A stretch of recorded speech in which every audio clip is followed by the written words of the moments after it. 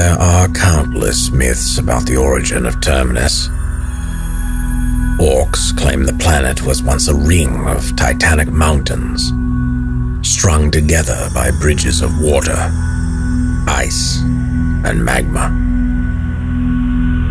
Ancient deities fought from each mountain, pushing them together into one mass that has been made smooth by the waters of time.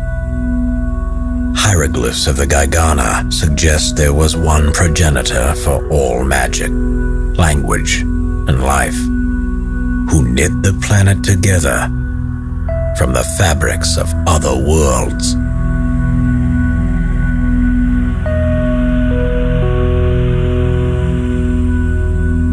The Tholen recount a lineage of dragon masters that stretches all the way back to the dawn of the planet.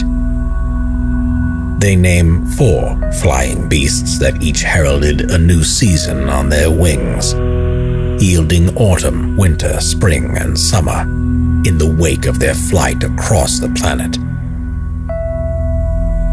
When compared to the scale of these tales, the story of the seed and the wyrm may be a book left on the shelf. Its narrative is not so loud or terrific, not at the least upon glance of the cover, and is recounted only by the tree folk known as the Spriggan. While there is evidence in support of the other legends, the seed and the wyrm lingers on with a peculiar credibility and enduring interest. It is a story with ancient roots that bears fruit to this very day, shortening the travel back into time like a new bloom on the tip of an old tree's branch. Now, on to the telling. In the days before time, hands reached through the darkness and birthed a new light.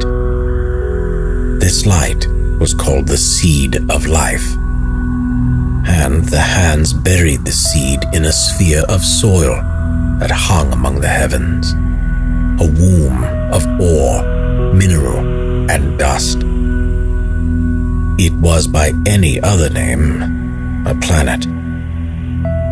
One the Spriggan would call Noah, but is more commonly referred to as Terminus. No other race is known to use the namesake Noah, and it does not appear to have been altered through the ages as with Evozul or Nistirok.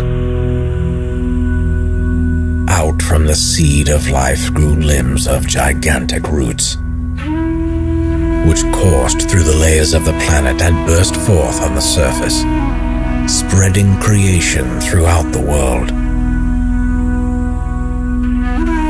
From the roots of the seed came all of nature. Seas teeming with life, and rivers in kind. Mountains and glaciers given their place and form orders of beasts and plants birthed and set free to roam. And finally, the first tree folk, a lineage of immense creatures meant to guide the flood of creation that whelmed over the planet. These were trusted with the power to sculpt life within the palm of their very own hands. These creatures were known as the Entaa'niri, though adventurers of today know them commonly as Ent. There are well known legends of their heart stopping height, with some reaching as tall as a small mountain and towering above every tree on the globe. Few of these titans still remain on Terminus, with the youngest generations counted among the oldest living creatures on the planet. They are largely passive in nature, save for the outlier, and live as stewards of the most ancient and deep forests, those nurtured on the arcane as much as Siros the sun. Legend claims that the roots of an Ent may be able to reach through the crust of the earth and grasp a tendril of the mothering root that created them. Though the connection may never grow so strong as to invite the attention of the enemy of the seed. Beneath the layers there churned a foe of the seed of life, known as the great wyrm of the abyss.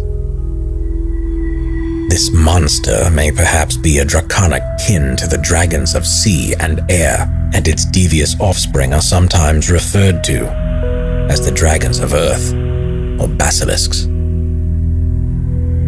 These creatures are often limbless, flightless, and in great fury, which may stem from their lot as the bastard branch of dragonkind.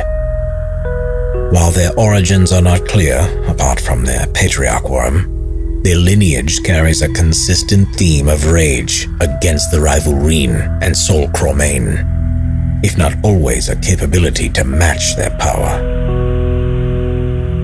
For basilisks, the crust of the earth is their sky, the hollows of caves their sea. Therefore, excursions onto the face of the planet are rare Below the surface is their dwelling place, a realm that holds few challengers and even fewer threats. However, the longer basilisks remain in the depths of darkness, the more blind they become, losing the ability to discern light with their own eyes. Hungry for the power the seed of life bestowed upon the world, the great wyrm hunted out the roots that crossed the pockets of darkness that existed between the layers of rock, soil, and ore. Greedily, he ate at the defenseless limbs of the seed, growing in size and strength as a result. Yet of such magnitude were the roots that even the mammoth wyrm required years to sever and consume them. He gave no pause for centuries.